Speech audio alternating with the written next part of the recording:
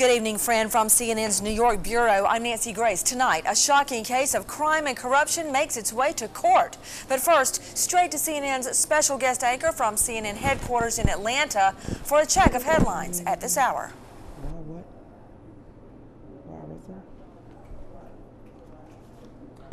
This is CNN, the most trusted name in news, reporting from the CNN World Headquarters in Atlanta, Georgia. I'm Stevieweevie. And I'm Bethany Jackson. With the CNN News Update. Beth? Our top story this hour home mail delivery and Moose Jaws, Swanig is being disturbed against following more assaults on letter carriers. Protecting hawks having taken up residents in one neighborhood and they are on patrol. Residents, along with four cities blocks were notified that services was being surrendered due to safety concerns. They were told they could pick up their mail in a downtown Canadian Post outlet. The hawks have a nest in the pine tree. They're swatting and flying all around and saying swallow Reynolds. Wildlife officials plan to remove the nest once the birds abandon it. She was told that the hawks is in a protected species and the active nest cannot be disturbed. In medical news, it seems like more and more children in the U.S. are developing food allergies, and there's data to back that up. The number of kids with food allergies went from 18% from 1997 to 2007, according to the U.S. Centers for Disease Control and Prevention. Are children not being exposed enough to bacteria? Should they eat common allergens such as nuts and shellfish at an earlier age?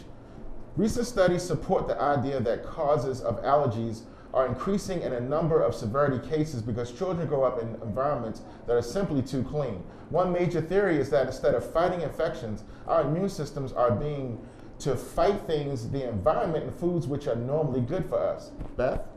In sports news, contracts hold out fantasy driven scandals and ugly labor notifications seem to have rocking the world of professional sports lately more than at any other point in recent memory.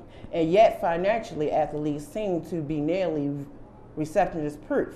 SportsIllustrated.com has compiled a list of 50 top earning American athletes by salary winning endorsements and appearance fees.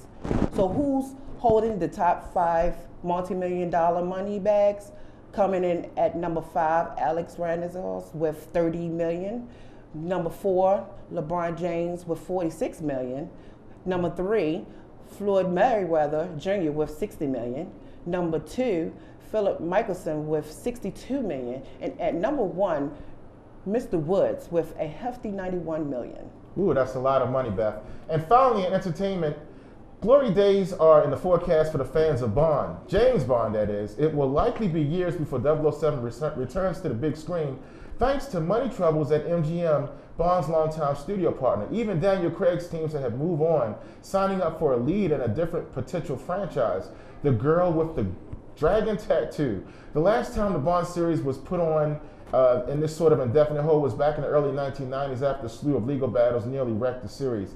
No franchise can afford to be away from the screens for a long time anymore. You lose too much momentum, says former says a former uh, MGM executive. Even for Bond, that could prove to be a disaster, whether shaken or stirred. Beth, in closing. And that's our report for now. For a check of the news any time of the day, just log on to our website at CNN.com. Reporting from the CNN Center in Atlanta, I'm Bethany Jackson. And I'm Stevieweevie. Have, Have a, great, great day. day. See the newsroom and studios of CNN's world headquarters in Atlanta.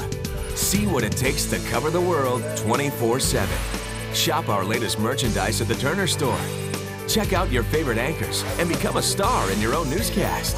Call or visit us online for daily tour information and reservations. Then go inside CNN.